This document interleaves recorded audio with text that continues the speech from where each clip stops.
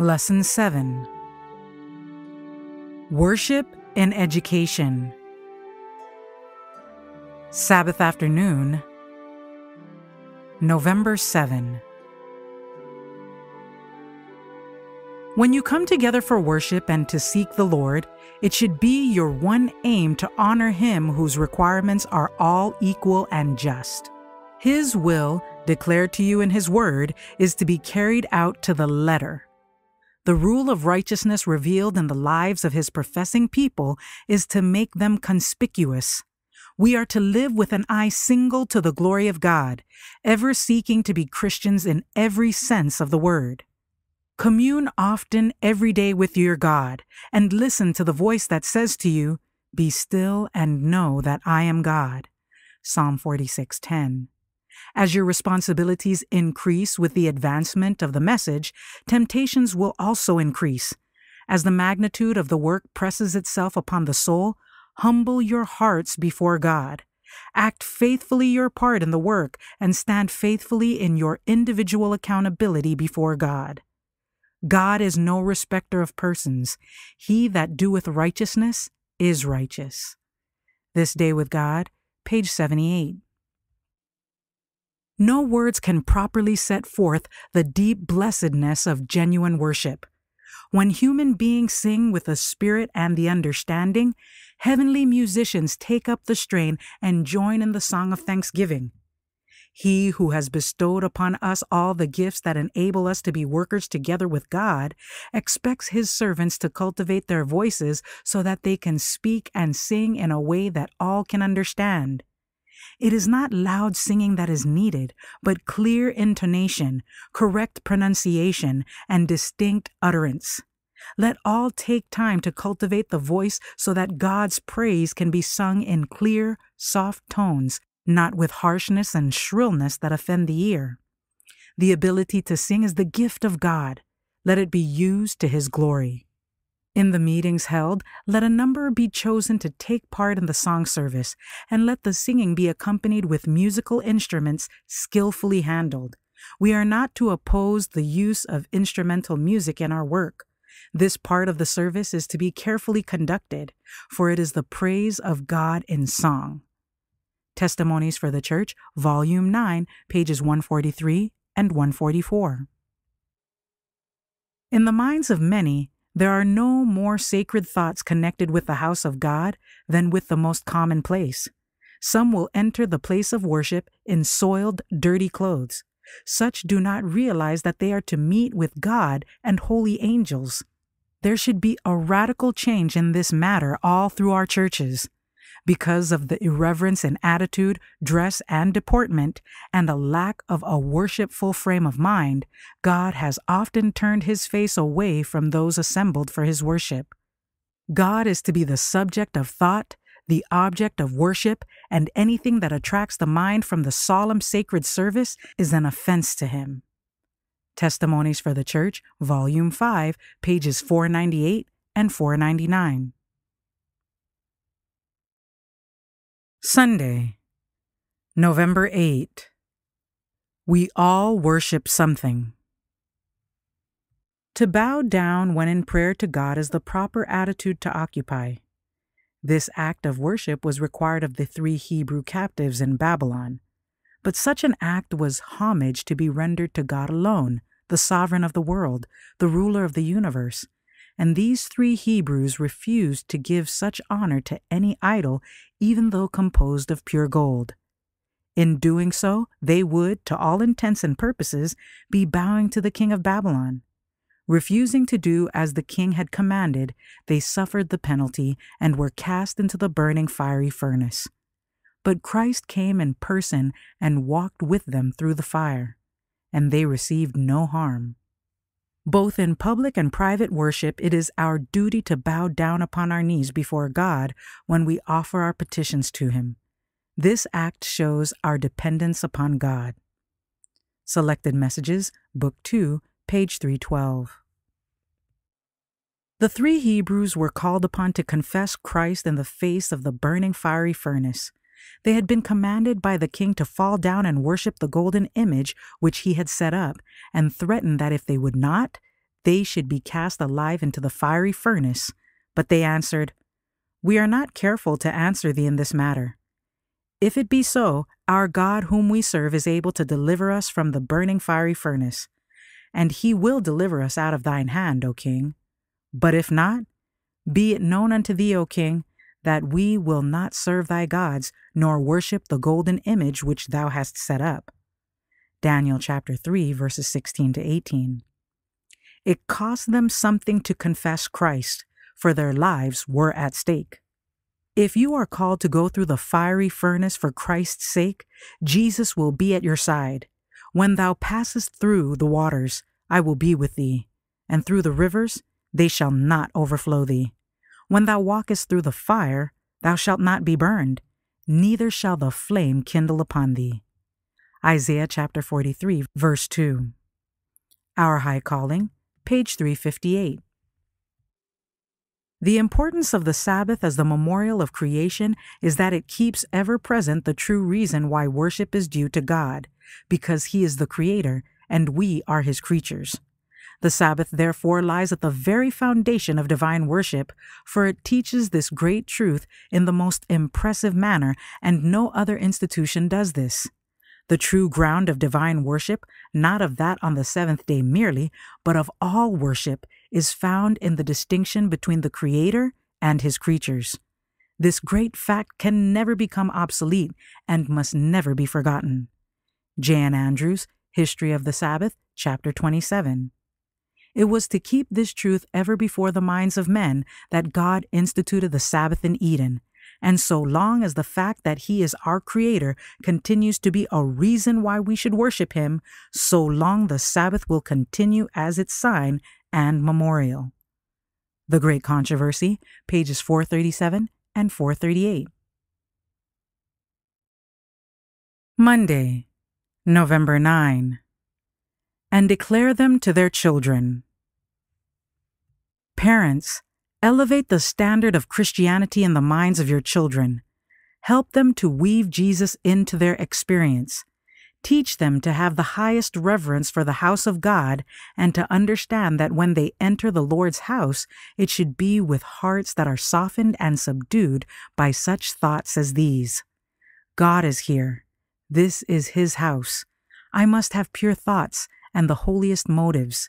I must have no pride, envy, jealousy, evil surmising, hatred, or deception in my heart, for I am coming into the presence of the holy God. This is the place where God meets with and blesses his people. The high and holy one who inhabiteth eternity looks upon me, searches my heart, and reads the most secret thoughts and acts of my life. Will you not devote a little thought to this subject and notice how you conduct yourselves in the house of God and what efforts you are making by precept and example to cultivate reverence in your children?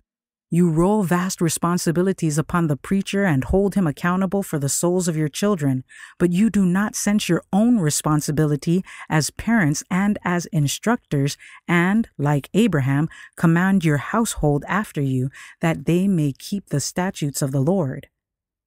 Testimonies for the Church, Volume 5, page 494.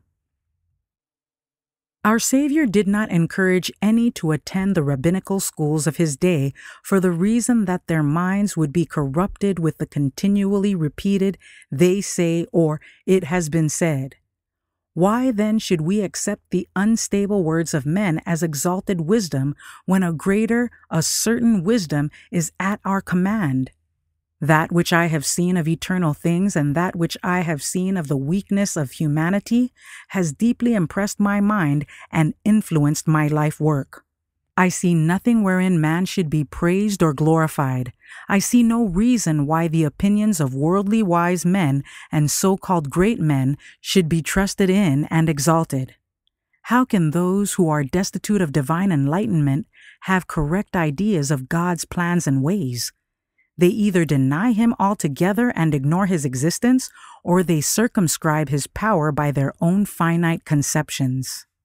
Let us choose to be taught by him who created the heavens and the earth, by him who set the stars in their order in the firmament and appointed the sun and the moon to do their work. It is right for the youth to feel that they must reach the highest development of their mental powers. We would not restrict the education to which God has set no limit. But our attainments avail nothing if not put to use for the honor of God and the good of humanity. The Ministry of Healing, page 449. Tuesday, November 10. In spirit and in truth. Jesus desired to lift the thoughts of his hearer above matters of form and ceremony and questions of controversy. The hour cometh, he said, and now is, when the true worshippers shall worship the Father in spirit and in truth. For the Father seeketh such to worship him. God is a spirit, and they that worship him must worship him in spirit and in truth. As the woman talked with Jesus, she was impressed with his words. Never had she heard such sentiments from the priests of her own people or from the Jews. As the past of her life had been spread out before her, she had been made sensible of her great want. She realized her soul thirst, which the waters of the well of Sychar could never satisfy. Nothing that had hitherto come in contact with her had so awakened her to a higher need. Jesus had convinced her that he read the secrets of her life, yet she felt that he was her friend, pitying and loving her. While the very purity of his presence condemned her sin, he had spoken no word of denunciation, but had told her of his grace that could renew the soul. As the woman heard these words, faith sprang up in her heart. She accepted the wonderful announcement from the lips of the divine teacher. The Desire of Ages, pages 189 and 190. Christ's message to the Samaritan woman with whom he had talked at Jacob's well had borne fruit. After listening to his words, the woman had gone to the men of the city, saying, Come see a man which told me all things that ever I did. Is not this the Christ? They went with her, heard Jesus, and believed on him. Anxious to hear more, they begged him to remain. For two days he stayed with them, and many more believed because of his own word. John chapter 4, verses 29 and 41. And when his disciples were driven from Jerusalem, some found in Samaria a safe asylum. The Samaritans welcomed these messengers of the gospel, and the Jewish converts gathered a precious harvest from among those who had once been their bitterest enemies. The Acts of the Apostles, page 106. God's servants are to stand as minute men, ready for service at a moment's notice. My brethren, from hour to hour, opportunities to serve God will open before you. These constantly come and go. Be ever ready to make the most of them. That chance to speak in the hearing of some needy soul the word of life may never again offer itself. Therefore, let no one venture to say, I pray thee have me excused.